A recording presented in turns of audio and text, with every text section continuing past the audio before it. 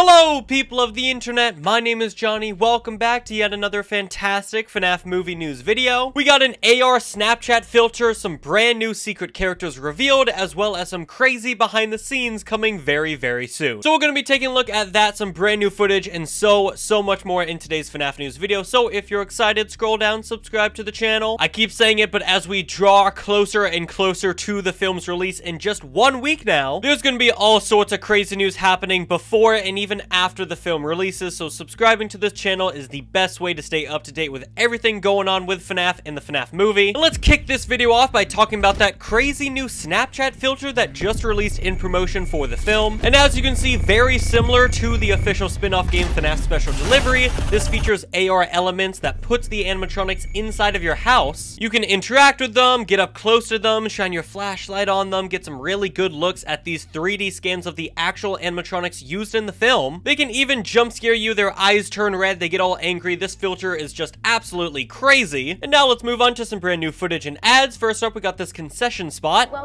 Featuring Kim, as you can see. Pizzeria, uh, where fantasy and fun come to life. Is the endoskeleton. Hey let's introduce you to the stars of the show. Oh, yeah. Freddy, hey, Freddy. Bonnie. Hey, Bonnie. Chica. Chica with the wink. And Cupcake. Let's go, Cupcake. There's the cupcakes jump scare. Pizza for a limited time only. Adorable, aren't they? The main takeaway for me for this trailer was, of course, the cupcakes jump scare. I mean, look at that. That's absolutely terrifying. The way he lunges out at Carl in the kitchen, he looks like Nightmare Cupcake, actually, with all these teeth. And then we got another vertical ad featuring new voice lines from Vanessa. Promise me one thing. When you're at Freddy's... We've seen these shots. You stay alert. That jump scare again. Foxy looking around. There's Jeff. William. PG-13. Yeah, so not much new stuff in this trailer. We just get Vanessa repeating, hey, when you're at Freddy, stay alert. Then we get this shot of Jeff, who is kind of the leader of the gang who breaks into Freddy's, trying to escape through one of the vents. And then we got a brand new featurette with the cast and the crew of the film. As you can see, Matthew Lillard. Very intense. Josh Hutcherson. A thrill ride. Emma, the director. terrifying. Is Elizabeth Lail. Jason. Scary. Scary. Scary. I think it's scary, guys. Scary. Nightmarish. Visceral. Corey. Creepy. It's out of this world. Then we get some brand new shots of the characters up on the stage. Yeah, as far as I'm aware, this is the only new footage here. Freddy and Bonnie performing up on the stage, and then Freddy turns to look at someone, possibly Mike in this scene. Also, interesting to note, Chica is missing. You can see Foxy just over here as well, so the only character not on the show stage is Chica for some reason. And then we got some brand new interviews with Emma Tammi, which she revealed some interesting information about the film. First up, she does confirm the time period in which the film takes place. Film is set in the year 2000, and we're flashing back to 80s and 90s um, eras, and I think.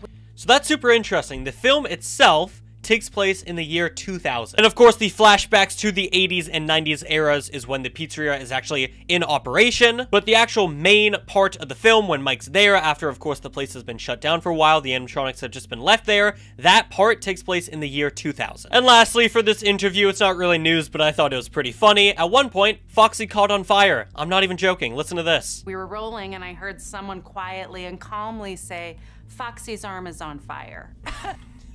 just casually and calmly saying, hey, uh, Hey Emma, yeah, Foxy's just on fire. FNAF setting on fire is kind of a meme at this point. It's happened so many times in the games, but even the film is not safe from bursting into flames. And lastly, for crew interviews, we had Jason Blum going on the late night show with Seth Meyers. Oh, and this is how Jason's introduced. Friday nights at Freddy's. Friday nights at Freddy's. Fri are you kidding me, Seth? Even Scott Cawthon clapped back at this. He gets no respect. Even Jason goes at Seth. Five nights at Freddy's. Five, what did I say? Friday nights. It's a very common misconception. It's five nights, not Friday nights. It's not the most interesting interviews, I'll be honest. He talks just a bit about production. As you can see, though, Jason did confirm at Blumhouse they went through eight directors, 15 scripts for the FNAF movie. Also, not too long ago, we had New York Comic Con, where Blumfest actually had their own panel where Emma and Jason talked about the film. And people attending the panel also got to see an exclusive clip from the film, which reportedly featured Mike watching the Kim VHS tape. We have seen quite a bit of this scene in the the actual trailers themselves, so nothing too much to write home about here. Just Mike watching the security training tape with Kim, it glitches out a bit as they show the animatronics. But in my opinion, the main takeaway from the panel was something that Emma said in regards to secret characters. Because she did confirm that, quote, there is one FNAF character that we have not yet revealed in any teasers or trailers. So of course, that's got people speculating. It could be Balloon Boy, though we do see a drawing of him on the wall, so technically he's been teased. A lot of people are speculating it could be the puppet because they are actually the ones that give gifts and of course give life to the spirits possessing the animatronics. But actually, we might have just gotten revealed who the secret character is because Scott Cawthon actually released a brand new FNAF game. You heard that right, the man was not retiring. Apparently, the FNAF movie is not his final project, TikTok. Because over on Game Jolt, he put out FNAF the movie, the game. And not only does the Game Jolt page have two brand new teasers of Foxy as well as Bonnie emerging from the supply closet, but the description also stated experience the movie storytelling as an interactive adventure. For those who don't want the movie spoiled for them, I would recommend staying away from this game until after next week. Major spoilers ahead. And so, of course, everyone went to go download the game only to be greeted with Freddy in Space 3, Chica in Space. That's right, it's another troll game. However, it wasn't all in vain because after beating the game, you get a link to the secret unlisted YouTube video by Universal. Now, as you can see, it is 9 minutes long. We will not be watching the full 9 minutes. If you want to take a look at the video for yourself, again, I'm gonna leave it linked down below, but there are secrets on the security cameras that we absolutely, absolutely have to talk about. So first up, we get this brand new shot of Vanessa as well as Mike looking at Freddy on the show stage. And then after that, we also get Kim talking. Adorable, aren't they? Protecting these cuddly critters in the proprietary technology that brings them to life Of is now your sacred duty. Keep them safe. We get a few flashes of Bonnie and Chica outside of that vent. We get a shot of Foxy up on the stage. Look at him performing. He looks so happy. Then after that, we get a clip right here of a newscaster reporting on the missing kids. We do get a full, clearer video of it later on in the video, where we got Mike entering the pizzeria. And then right after Foxy crushes some balls, we get someone screaming Garrett. Now, to me, that seems pretty clear, like that is young Mike in the woods in the park when, when Garrett actually goes missing, right? And so he's looking around trying to find his younger brother. He can't find him, so he's screaming out, Garrett, Garrett, where are you? And then we also got an endoskeleton right here who flashes up for like one second and then he's gone. Got a phone ringing. We got Matthew. Let me give you a little backstory. He talks for a while. This place was huge in the 80s with the kids. It's been shut down for years. The only reason they haven't given it the old wrecking ball the treatment, owner, owner, the owner, bit of a So notice how when he talks about the owner, it glitches out. I really do feel like they might have cut Henry out of the film adaptation, or at least they're saving him for a reveal in a future film. It seems like they're really trying to paint Matthew's character uh, of Steve Raglan, William Afton, as the sole owner and founder of Freddy's. he's kind of a sentimental guy, I guess. just can't bring himself to let it go yet. Yeah, just the way he's talking about it. Yeah. Had some trouble with break-ins over the years. Drunk Someone in this camera? Mostly not ideal. Security systems dated but fully functional. Floodlights on the outside. And the way he's explaining the backstory and then also talking about the establishment, I feel like this is the night one phone call. Or this is that scene when Mike calls uh, Steve Raglan in his home, and that's when he's like, I'm, I'm, dude, I'm desperate. I need this job. Give me some details about it. What's going to be happening while I'm working there? Cameras inside and outside. Fair warning: the electricity is a bit iffy. Electricity's iffy. So I feel like we're going to get a power out scene. We got some brand new cameras. We got Hank walking around, swinging a bat, and he is just going to be just practicing his swinging. We got Chica over there as well. He does this for a while. He just messes about. Boom! Swing, batter, batter. The saw trap. Got more shots of the cupcake. An interesting shot right here. This room is still confusing me. I don't know what room this is. It's a yellow wall. Like, who has that color inside their house? Because this looks like just a basic TV or something. Oh, I don't know. I'd love to know your thoughts and theories. And this is that same security tape. We got Hank running from the dining room down this hall into the supply closet right here. Here he goes. This shot of the cupcake that we've seen, where his eyes light up. He's looking around. Then we get a jump scare of the cupcake once again. And he's behind a crate, it looks like, so either he's attacking someone in the vent. Here, we can see, it once again, this scene of Jeff, the leader of the group who breaks into Freddy's, trying to escape through the vent. Looks like he's trying to manually unscrew the screws or something. We got some Morse code as well.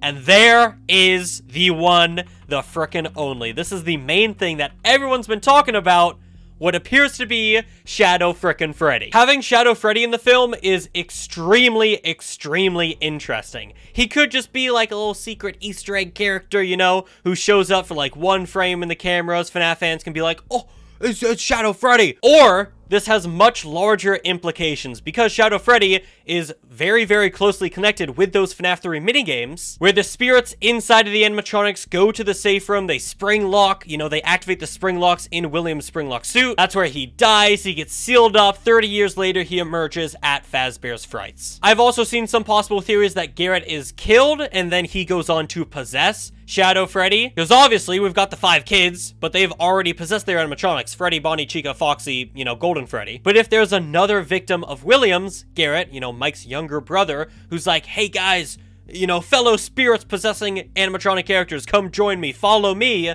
let's go and William once and for all. I'd love to know your thoughts and theories on Shadow Freddy because...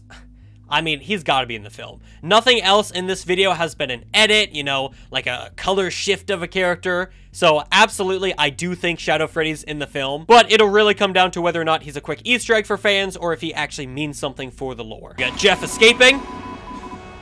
He's got a flashlight. Lights falling down. This does look like The Office, by the way, because we can see the panel that Mike switches. He's escaping through the vent. And then we got someone yelling, hello. Maybe Abby as she's walking into this dining room. The animatronics. tonight at a local pizzeria where five children who were attending a birthday event suddenly and mysteriously vanished into thin air. Let's head inside for more. And then we get the newscaster talking about the missing children's incident. So it is confirmed. Five kids did go missing at that birthday party. We do know we are going to see a scene of the birthday party in the film itself. Then we get inside shots of the pizzeria. The wall with all the drawings. You can see the animatronics up on the stage. The saw trap again. Some warped talking. I still don't know who that is. Zooming in on the missing children's poster. And you can see whoever's in the saw traps really getting messed up. Just keep your eyes on the monitors and, and, and keep people out. Piece of cake. Piece of cake. We got Chica bending down into the vent. Uh, is the cupcake on the plate? It looks like the cupcake's in the plate.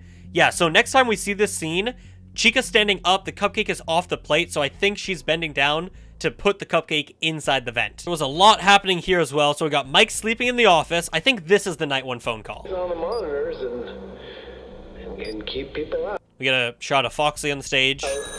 Piece of cake. And then, 3 a.m. Interesting, it makes it clear it's 3. We get people breaking in. And then we got Max running away. This looks like Max. I do believe that is Max. So either she's running away and she's able to escape the encounter with Freddy, or she's this is before they break in and she goes back to the car to get something. Then we get this incredible scene with Chica and Abby. Seems like they're traveling together, they're looking out for something. And then as Abby retreats, Chica does as well, kind of blocking whatever threat is out this way from Abby. So that is very, very interesting. Keep an eye on this camera as well. Keep an eye on Freddy. Because we can see him walking off the stage. More shots of Kim as well. And then as we zoom in, keep an eye on this camera. These, these cuddly critters and the proprietary technology that bring them to life are now your sacred duty to protect. Keep them safe and help ensure that Freddy Fazbear's Pizzeria is So here to as we delight, zoom in, dazzle, and entertain look at what we see. Freddy and Bonnie up on the stage with their glowing eyes. But um, also, that's not all.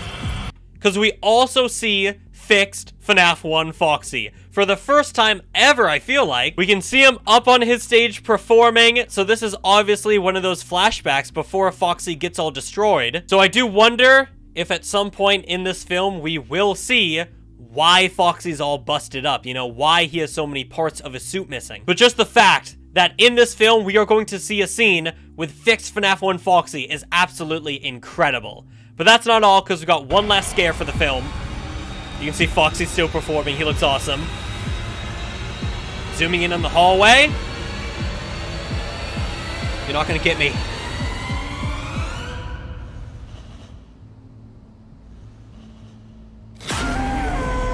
Some brand new shots of our purple guy, Spring Bonnie himself. Emerging from the entrance, right? We've seen this clip before, where he's right in front of the door, but now we can see him walking into the rest of the establishment. And he looks so, so good. You can see as well the clothing underneath his suit, his chin underneath his suit. It is absolutely amazing. Look at that. It is so, so cool. This is absolutely the scene I'm looking forward to the most. Just Spring Bonnie emerging from the darkness. Like, he, he looks so, so cool.